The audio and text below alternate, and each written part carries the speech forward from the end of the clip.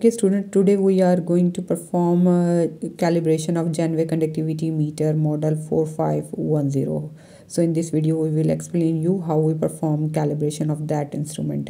But before we going to start its calibration, it's essential adjust the cell constant which is mentioned on the electrode wire.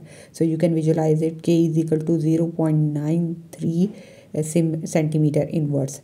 So first of all adjust the value of that uh, cell constant within the uh, conductivity meter. So for that purpose we will go into the setup uh, uh mode by pressing the uh, left right or up down arrow keys. So after pressing these buttons you can adjust the value of the respective uh, electrode cell constant within the instrument after getting uh, that value of cell constant within the instrument uh, then press the store button. All the related parameter will automatically adjusted or save within the instrument. Coefficient value reference temperature tds uh, centigrade temperature.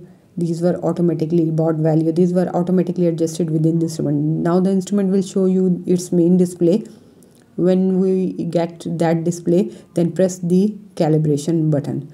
After pressing the calibration button you can clearly visualize uh, on top of its display cal 0 cal 0 basically is a clear indication that at that time electrode uh, present is in air.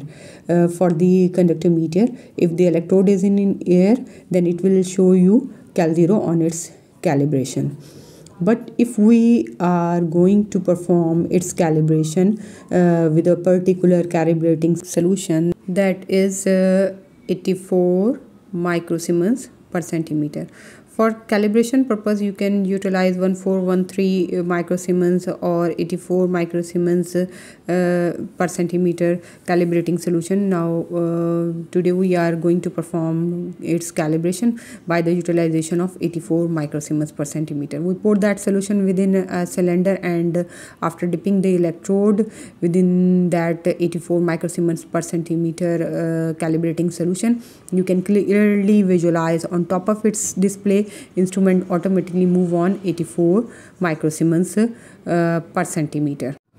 After that you will press the calibration button. Now calibration okay? And instrument will show you 83.9 or 84 microsiemens per centimeter. This uh, is a clear indication that uh, now the instrument uh, uh is showing you an actual value. You can also press the stored button on the instrument and the value is stored within the conductivity meter.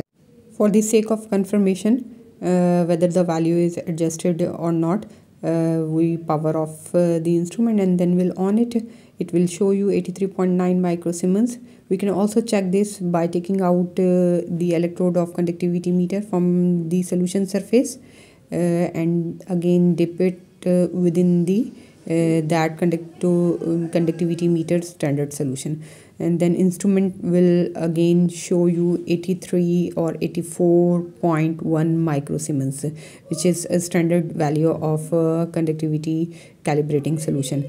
Now the instrument is ready for any uh, conductiv conductometry analysis. In this way we have done the calibration of Jenway conductivity meter model 4510